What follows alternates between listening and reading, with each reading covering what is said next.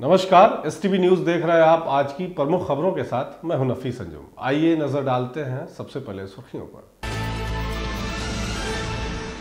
नहीं रही लोक गायिका शारदा सिन्हा, देर रात हुआ उनका निधन। एम्स हॉस्पिटल दिल्ली में बहत्तर वर्ष की आयु में ली अंतिम सांस। पूर्वी चंपारण ज़िले के डीएम और एसपी ने छठ घाटों का किया निरीक्षण, दिए गए कई आवश्यक दिशा निर्देश। लोक आस्था का महापर्व छठ के दूसरे दिन पूरे हर्षोल्लास के साथ मनाया जा रहा है खरना। कल संध्या काल दिया जाएगा भगवान भास्कर को अर्घ। नगर निगम द्वारा छठ घाटों की साफ़ सफ़ाई का दिया जा रहा अंतिम रूप। आस्था के महापर्व के दूसरे दिन सभी घाटों पर की गई बैरिकेटिंग सोमेश्वर नाथ महोत्सव को लेकर कांग्रेस के जिला अध्यक्ष ने जिला प्रशासन पर बोला हमला। कहा कि श्री सोमेश्वर नाथ महोत्सव का आयोजन नहीं, बल्कि भाजपा महोत्सव का कराया गया आयोजन। मोतिहारी पुलिस का शराब कारोबारियों के खिलाफ अभियान जारी। अलग अलग जगहों से शराब के साथ दो तस्करों को भी किया गया गिरफ़्तार। सदर अनुमंडल पदाधिकारी द्वारा विभिन्न घाटों का किया गया निरीक्षण, दिए गए कई अहम दिशा निर्देश। मधुबन प्रखंड से किसान के घर में चोरी का मामला आया। सामने चार से पाँच लाख रुपए की चोरी का है अनुमान। पुलिस कर रही पूरे मामले की जाँच पड़ताल।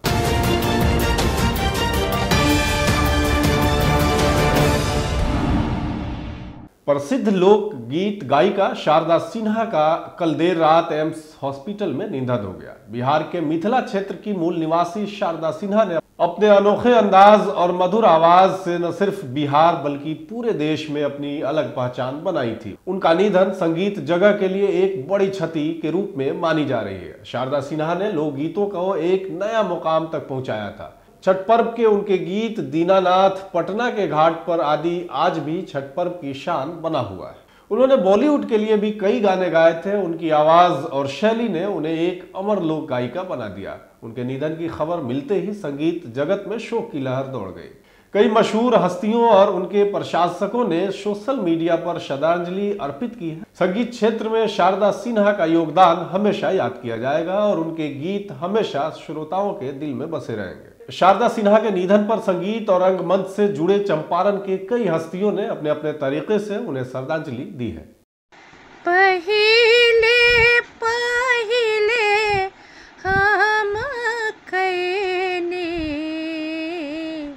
छठी मैया बड़ तोहार, छठी मैया बड़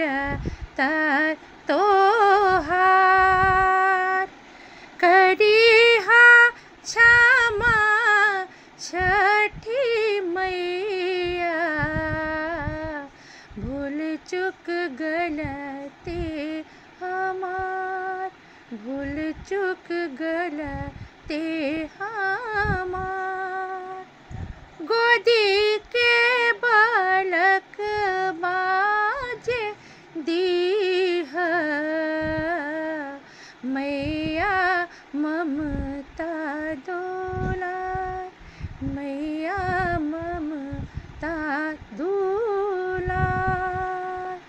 नमस्कार, प्रणाम। मैं वंदना सिन्हा, लोकगीत गायिका, जो मैं समस्तीपुर, मेरा मायका हुआ और मैं समस्तीपुर वुमेंस कॉलेज में शारदा दीदी से सीखती थी। आज बहुत दुख के साथ कहना पड़ रहा है कि आज उनका शरीर यहाँ से छूटा है। वो अजर अमर हैं और अमर रहेंगी। उनके गीत जब छठ गीत बजते थे तो लगता था कि छठ आ गया और शादी जब बजता तो लगता है कि शादी बजी, हो रहा है। तो मैं आज भगवान से प्रार्थना करती हूँ। मैं अपनी अश्रुपूर्ण श्रद्धांजलि मैं शारदा दीदी को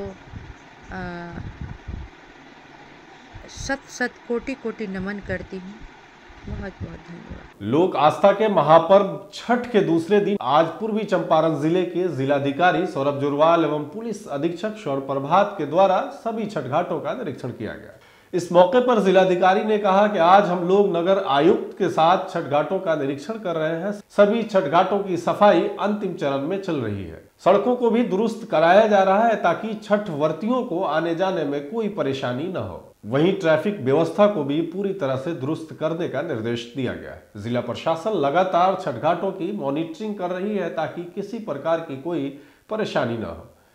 वहीं पुलिस अधीक्षक स्वर्ण प्रभात ने कहा कि पूर्वी चंपारण ज़िले वासियों को मैं सबसे पहले छठ की हार्दिक शुभकामनाएँ देता हूँ। इसके साथ साथ सभी थाना अध्यक्षों को उनके द्वारा निर्देश दिया गया कि ट्रैफ़िक व्यवस्था पर विशेष ध्यान दें, ताकि छठ पर्व सामग्री खरीदने वालों लोगों को कोई परेशानी का सामना न करना पड़े। महोदय के साथ में जो शहर के छठ घाट है उनका एक बार देखते हैं तैयारी कैसी है। और सभी जगह इन्होंने बैरिकेडिंग करी है, ताकि कोई आदमी पानी के अंदर ना चला जाए। हम लोगों ने निर्माणाधीन रोड को भी, भी देखा है। इसमें कुछ जगह इंक्रोचमेंट है जिसको कि हम लोग छठ के बाद तोड़ना स्टार्ट करेंगे और इस रोड को भी ठीक करवाएँगे। बाकी आगे भी हमने छठ घाट देखे हैं। जहाँ जहाँ कुछ कुछ समस्याएँ थी हम लोगों ने बताया चुना और छटकने के लिए बोला गया है हमको और डेपुटेशन की गई है। ट्रैफ़िक की व्यवस्था के लिए भी एस पी साहब ने निर्देश दिए हैं। तो कोशिश करेंगे कोई समस्या ना सुरक्षा के लिए? व्यवस्था है डेपुटेशन है हर जगह पे। कंट्रोल रूम रहेगा हमारी गश्ती गाड़ियाँ रहेंगी हम सब लोग रहेंगे। नाविकों के भी हम लोगों ने यहाँ पे हमारे पास कुछ बोट्स हैं उनको रखा है उसमें हम लोग भी रहेंगे हमारी फोर्स भी रहेगी। कुछ होगी घटना तो हम लोग तुरंत उस पर रिस्पॉन्ड पर्व के अवसर पर सबसे पहले मोतिहारी के सभी जिलावासियों को छठ पर्व की हार्दिक शुभकामनाएँ। और इस पर सुरक्षा के व्यापक इंतज़ाम किए गए हैं और ज्वाइंट ऑर्डर भी इशू किया गया है। और सभी थाना थानाध्यक्ष को निर्देश भी दिया गया कि ट्रैफ़िक का भी अच्छी व्यवस्था करें ताकि जो व्रती खरीदारी करने निकले वो जाम में नहीं फंसे। पूर्वी चंपारण समेत पूरे बिहार में लोक आस्था के महापर्व का रौनक देखने को खूब मिल रहा है। बता दें कि मोतिहारी के बाजारों में अब लोग अंतिम रूप से छठ के सामग्री खरीदते हुए देखे जा रहा है। जिसको लेकर बाजारों में काफ़ी भीड़ भाड़ भी देखने को मिल रही है। लोक आस्था के इस पर्व का आज दूसरा दिन खरना मनाया जा रहा है। सभी छठवर्ती मिट्टी के चूल्हे पर मीठे की खीर और रोटी बनाकर छठी मैया को भोग लगाएँगे और कल संध्या काल में भगवान भास्कर को अर्थ दिया जाएगा। वह इस दौरान मोतिहारी के बाजारों में सुपली और कोसी ईख सहित छठ पूजा सामग्री को लेकर काफ़ी भीड़ भाड़ लग रही है। लोग छठ सामग्री खरीद अपने अपने घरों को जा रहे हैं। बिहार का खास करके और अब पूरे देश स्तर पर अब छठ को धीरे धीरे मनाया जा रहा है। ये आस्था का महापर्व है और हम लोगों की आस्था छठ के प्रति सबसे ज़्यादा होती है बिहारियों की। और इस अवसर पर आज सबसे खुशी का बात यह है कि पूरे बाज़ार में आप रौनक देखिएगा। जो चहल पहल पिछले कुछ दिनों से कोरोना काल से हल्का हो गया था, इस साल सबसे ज़्यादा चहल पहल दिख रहा है। और भगवान सूर्य का और भगवान भास्कर का एवं छठी मैया का आशीर्वाद हम सभी लोगों पर बना रहे ऐसी कामना हम करते हैं और मेरी बहुत बहुत शुभकामना है छठ के।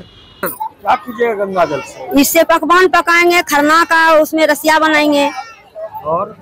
और उससे अरग उरग भी देंगे मिला करके जल में। छठी मैया पर कितना भरोसा है? बहुत भरोसा है। मैया सुनती है? हाँ ज़रूर सुनती है। मोतिहारी नगर निगम द्वारा अब घाटों की सफ़ाई अंतिम चरण में की जा रही है। आपको बता दें कि नगर निगम द्वारा इस बार सभी 222 घाटों की साफ़ सफ़ाई की जा रही है। वहीं छठवर्तियों के लिए घाटों पर बड़े बड़े पंडाल और लाइट की भी व्यवस्था की गई है ताकि छठवर्तियों को आने जाने में कोई परेशानी न हो। इसको लेकर नगर निगम प्रशासन पूरी तरह से मुस्तैद दिख रही है। इस दौरान मोतिहारी के रॉबिन क्लब घाट पर भी साफ़ सफ़ाई का कार्य चल रहा है। वहीं वार्ड पार्षद प्रतिनिधि राजेश पटेल ने बताया कि छठ घाट की साफ़ सफ़ाई अंतिम चरण में चल रही है और हर साल हम लोगों के द्वारा माचिस और अगरबत्ती छठ घाटों पर वितरण किया जाता है। इस साल भी यह कार्य ज़रूर किया जाएगा। लगभग छह हज़ार से अधिक छठवर्ती यहाँ पूजा करने आते हैं। इसी बीच उन्होंने बताया कि नगर निगम प्रशासन की तरफ़ से भी उन्हें पूरा सहयोग मिल रहा है। छठ का सफ़ाई पिछले पंद्रह दिनों से नगर निगम के द्वारा किया जा गया है, जो कि बहुत ही अच्छा इस बार रिस्पॉन्स लिया गया है। हमारे नगर आयुक्त सुमन सौरभ यादव जी के द्वारा और मेयर के द्वारा इससे छठ घाट का सफ़ाई बहुत ही बेहतरीन तरीके से इस बार किया गया है। अभी तो अंतिम चरण में लाइट का काम, फूल का काम और डेकोरेशन काम चल रहा है। कल पेयजल की व्यवस्था होगी, आपके सामने देख रहे हैं कि पेयजल आकर रखा हुआ है हाथ धोने के लिए लोग। यहाँ अच्छी व्यवस्था भी। रोबिंग क्लब घाट पे कितने लोगों के आने की उम्मीद होती? है ऐसे तो हम लोग काउंट करते हैं चूँकि हम लोग अगरबत्ती और धरा सलाई मुफ़्त बांटते हैं यहाँ पर पूजा के लिए तो 600 दौरा आता है और एक दौरा के साथ छः से सात हमें जोड़ लीजिए। तीन से चार हज़ार का भीड़ यहाँ उपलब्ध रहेगा। पूर्वी चंपारण जिला कांग्रेस कार्यालय में एक बैठक को संबोधित करते हुए जिला कांग्रेस कमेटी के अध्यक्ष इंजीनियर शशि भूषण राय उर्फ़ गप्पू राय ने सोमेश्वर नाथ महोत्सव को लेकर जिला प्रशासन पर आरोप लगाया है कि श्री सोमेश्वर महोत्सव को प्रशासन सरकारी महोत्सव नहीं, बल्कि भाजपा महोत्सव बना दिया है। बिहार के काशी कहे जाने वाला प्रसिद्ध सोमेश्वर नाथ महादेव मंदिर आने वाले श्रद्धालुओं को लेकर आयोजित श्री सोमेश्वर नाथ महोत्सव 2024 का आयोजन अरेराज स्थित सोमेश्वर नाथ उच्च विद्यालय के खेल मैदान में आयोजित किया गया था। छठ पर्व के अवसर पर श्रद्धालुओं के मनोरंजन के लिए पर्यटन विभाग द्वारा कार्यक्रम भी आयोजित की गई थी। दो दिवसीय कार्यक्रम की शुरुआत सोमवार संध्या जिला प्रशासन के सौजन्य से किया गया। लेकिन यह महोत्सव केवल भाजपा का महोत्सव बनकर रह गया। वहीं श्री राय ने कहा कि कार्यक्रम के बने पंडाल में दिन भर भाजपा पार्टी द्वारा सम्मान कार्यक्रम का आयोजन कर विधानसभा चुनाव की तैयारियाँ की गई। वहीं प्रशासन के मिली भगत से उद्घाटन कार्यक्रम में भाजपा पार्टी के जनप्रतिनिधि द्वारा महोत्सव पर प्रकाश नहीं डालकर अपने सरकार की झूठी उपलब्धियों पर अपना बखान कराया गया। आगे उन्होंने आरोप लगाते हुए कहा कि महोत्सव में केवल भाजपा के नेता को ही संबोधित करने का मौका मिला। वहीं ज़िले के दूसरे जनप्रतिनिधि को संबोधन करने का मौका तक नहीं मिला। मोतिहारी पुलिस आजकल शराब तस्करों के खिलाफ लगातार कार्रवाई करती हुई दिखाई दे रही है। इसी बीच अब शराब पीने और शराब बेचने वालों की खैर नहीं है।